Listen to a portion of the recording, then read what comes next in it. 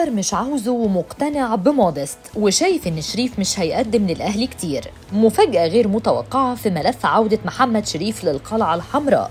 يا ترى إيه الحكاية؟ جدل كبير الساعات اللي فاتت بعد الكلام عن اقتراب محمد شريف لاعب القلعة الحمراء السابق ونادي الخليج السعودي العالي من العودة مرة تانية للنادي الأهلي، خصوصا بعد الانتقادات الكبيرة اللي توجهت لأنطوني مودست بسبب عدم إقناعه للجمهور بمستواه، ده غير كمان عدم مشاركة كهربا باستمرار مع الأهلي، عشان كده في تفكير لمجلس الإدارة بالبحث عن مهاجم مع وسام أبو علي، طبعا تفكير الأهلي اتجه لشريف اللي كان أحد هدافي القلعة الحمراء الحمراء ورحيله عن الأهلي كان بسبب عدم المشاركة باستمرار والخلافات مع كولر. وبدأ مجلس الإدارة في إنه يتكلم مع كولر عن إمكانية عودة شريف مرة تانية. لكن هنا كانت المفاجأة. كولر رفض بشكل نهائي عودة شريف للقلعة الحمراء. الإعلامي محمد الليثي كشف مفاجأة عن حقيقة عودة شريف مهاجم الفريق السابق للقلعة الحمراء في الموسم المقبل. الليسي قال في تصريحاته إن الأهلي تلقى اتصالات خلال الفترة الماضية بشأن اقتراب انتهاء تجربة شريف في الدوري السعودي ورغبة اللاعب في العودة للدوري المصري عبر بوابة الأهلي. وتم طرح الأمر على كولر لكن الأخير رفض.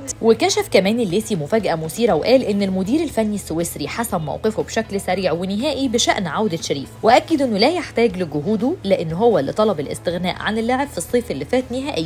وليس على سبيل الإعارة لأسباب فنية. كولر رفض تجديد عقد شريف مع نهاية الموسم الماضي على أنه يرحل اللاعب على سبيل الإعارة وتمسك برحيله نهائيا. عشان كده من المستحيل عودة شريف للأهلي الموسم الجاي. رغم أن المدير الفني طلب تدعيم هجوم الفريق بعد الاتفاق على رحيم الفرنسي أنطوني مودست بنهاية الموسم الحالي. محمد شريف رحل عن النادي الأهلي الصيف اللي فات وراح لنادي الخليج بعقد مدته موسمين مقابل مليون و600 ألف دولار بجانب حصول الأهلي على 15% من إعادة بيع اللاعب لأي نادي تاني. وفي بند في العقد بينص على منح الأهلي الأولوية في ضم شريف وده حال عودة شريف للدوري المصري بس. محمد شريف كان ليه تصريحات مثيرة الساعات اللي فاتت اتكلم فيها عن التحديات اللي بتقابله وقال حسيت بحالة حزن من استبعادي من قائمة منتخب مصر للمشاركة في كأس الأمم الأفريقية. كان نفسي أتواجد في البطولة وكنت حاسس إني قريب من القايمة لكن رضيت بقرار المدرب. اتكلم شريف كمان عن إمكانية التعاقد مع نادي الزمالك وقال أنا بحترم نادي الزمالك وجماهيره وما غلطتش في حق النادي زي ما صور البعض عن طريق وسائل التواصل الاجتماعي. اللي حصل إني كنت برد على سؤال إذا تم وضعي في اختيار بين الأهلي والزمالك. قلت إني مش هلعب غير للأهلي ومش هكون مرتاح في أي نادي مصري تاني. وده قراري. قراري الأول والأخير هو عدم اللعب مع نادي الزمالك لأنه هيكون أمر صعب. وأكيد في مفاوضات مع الوكلاء من الزمالك لضمني.